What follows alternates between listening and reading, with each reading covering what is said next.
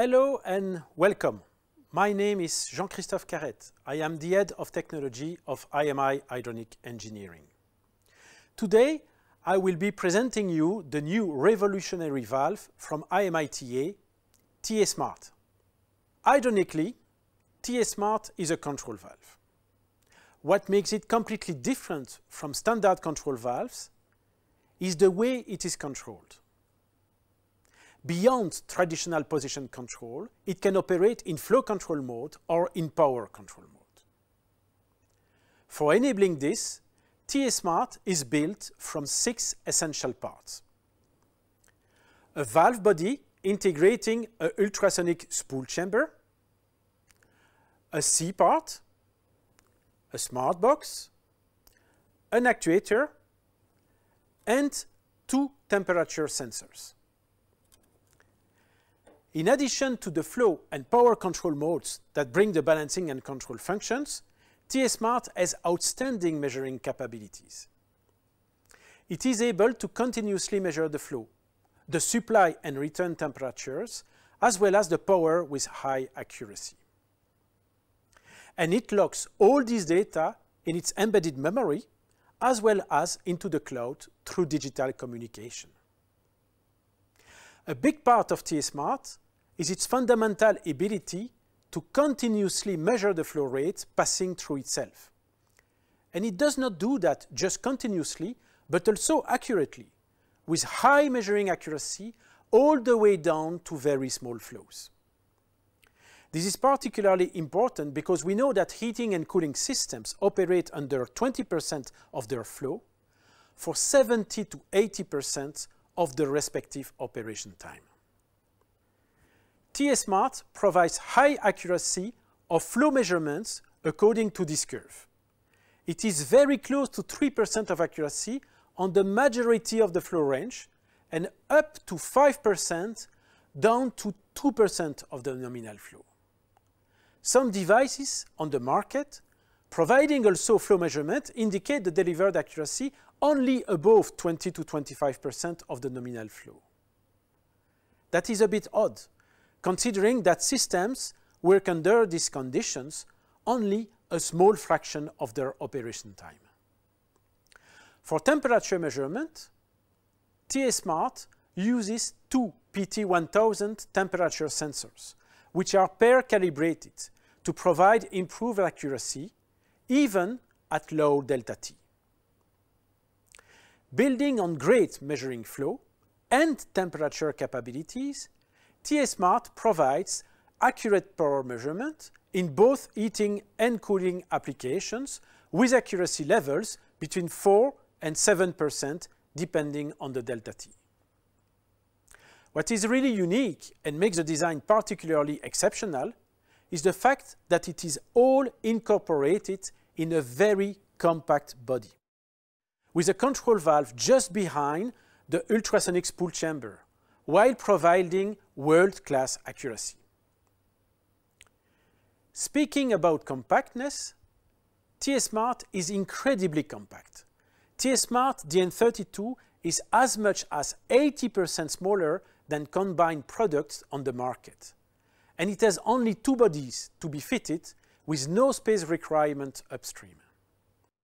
TA-Smart DN65 and 80 have actually an F1 face-to-face -face length according to EN 558, with DN65 being up to 35% smaller versus competition.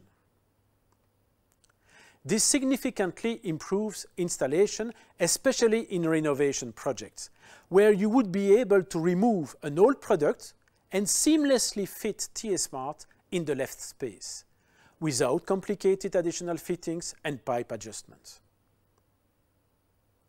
TA-Smart can control the flow down to an amazingly low half a percent of the nominal flow, and this against a differential pressure as high as 400 kPa. It is flexible in terms of control modes, with three modes available, flow control, power control, or position control. And these control modes can be chosen via the HyTune smartphone app using the local area network or on the cloud if TA-Smart is connected to it. One of the great things is that all TA-Smart configuration and hydronic information are accessible directly via your smartphone, even without any bus communication or cloud connection. And it does not require you to bring any special equipment, cable or adapter. You only need your smartphone or a tablet. I'm going to show you briefly now how the TA-Smart operates and how it can be configured. Let me show you first the hydronic demo unit that we are going to use uh, for this demonstration. We first have a TA-Smart on the pipe there that is followed by a microbubble separator and then a variable speed pump. The variable speed pump is going to be used to vary the differential pressure applied in the circuit. We have then a manual balancing valve which is there to simulate the presence of a terminal unit. And we get back to the TA-Smart. Obviously, we have got two temperature sensors with TA-Smart. One that is integrated in the body of the valve, and in this demo unit, it is measuring the temperature of the water running through this unit. This temperature of the water is relatively high as the pump is transferring heat to the water. The remote temperature sensor is actually not connected. We simply take the temperature of the room to create a virtual delta T between the water in the rig and the room.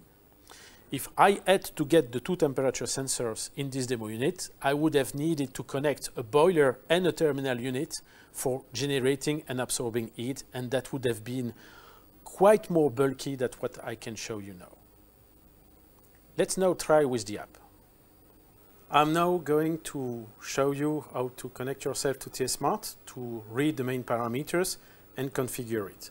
I'm starting the HyTune app and I'm first having a welcome screen where I can start scanning for devices on the Bluetooth range.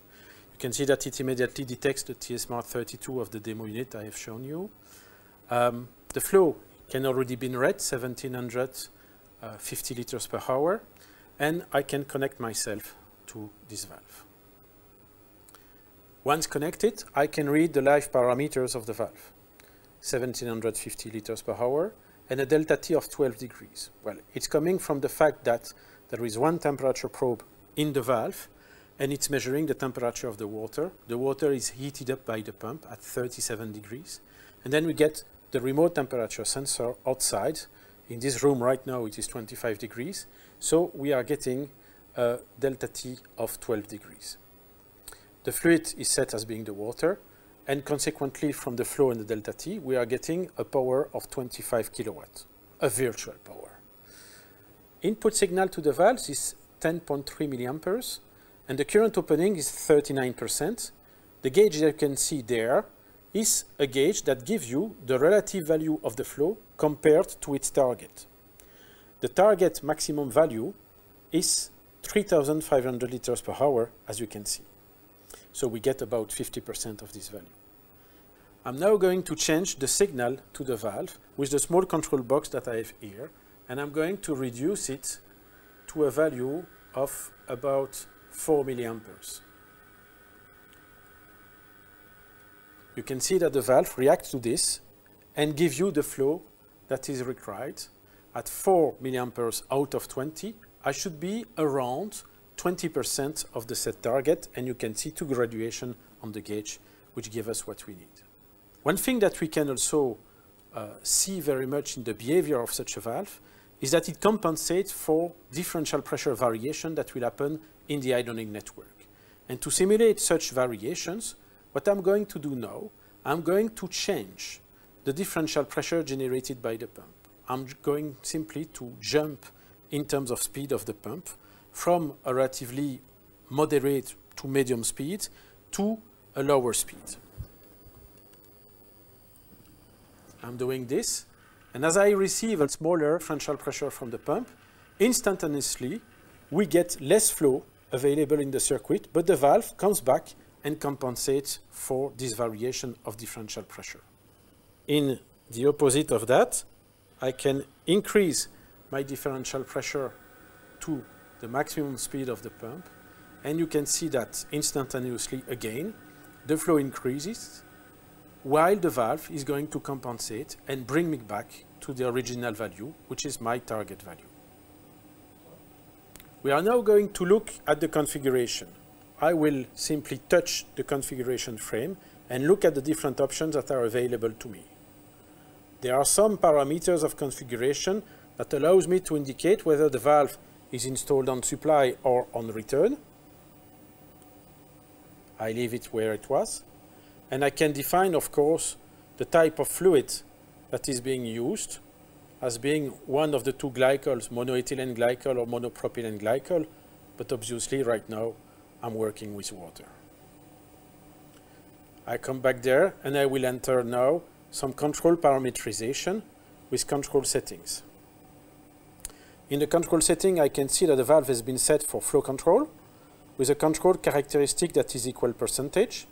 And this control characteristic is between the signal received by the valve and the flow that we'll try to achieve. This can be changed in this screen.